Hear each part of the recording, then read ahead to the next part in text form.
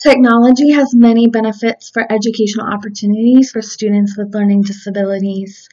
As found on page 313 in the text of Chapter 9, Integrating Educational Technology, teachers face challenges in knowing how to use and integrate technology for supporting instruction and for students' learning. This lack of preparation and time to explore these resources and capabilities can influence a teacher's attitude negatively in implementing the technology effectively in the classroom. For some educators, there's already the obstacle of time, meeting the needs of all learners, and ensuring that teaching in the standards by district guidelines. When having to train, integrate, and reevaluate technology for effectiveness, this can be discouraging and overwhelming for an educator.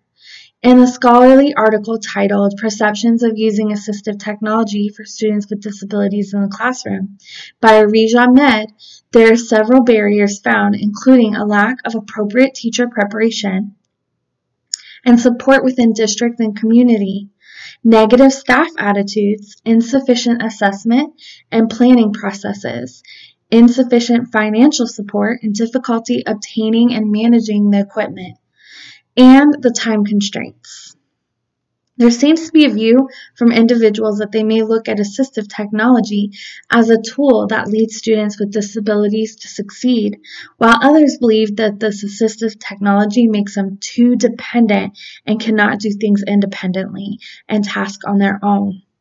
Also, the students have advantages to use these tools at school, but are limited outside of school on their resources.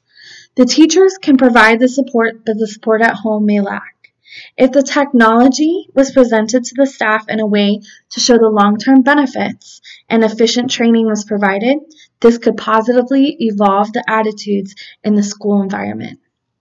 My only experience with an accessibility tool was a talking word processor and a digital pen to assist a student in recording notes and keeping up with the pace of the curriculum in English language arts while teaching fifth grade.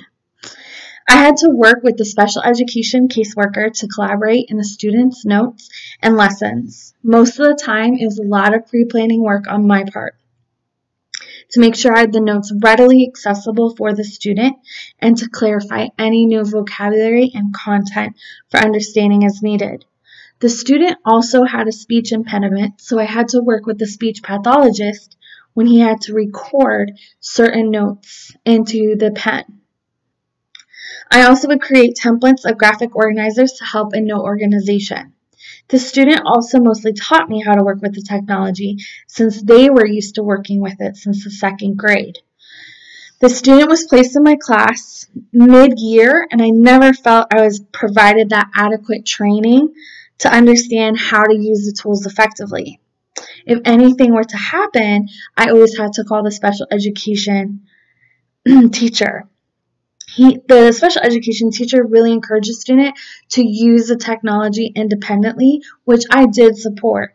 However, I wish I knew a little bit more about it in case it did hiccup. The student also had a challenge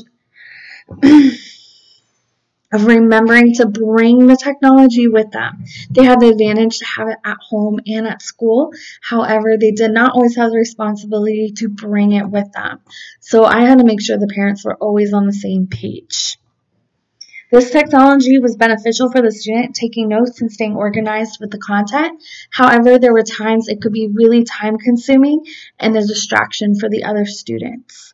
In this experience, I had to reevaluate my own attitude towards technology and embrace the advantages to how it supported the student to achieve in their own academics. Thank you for listening.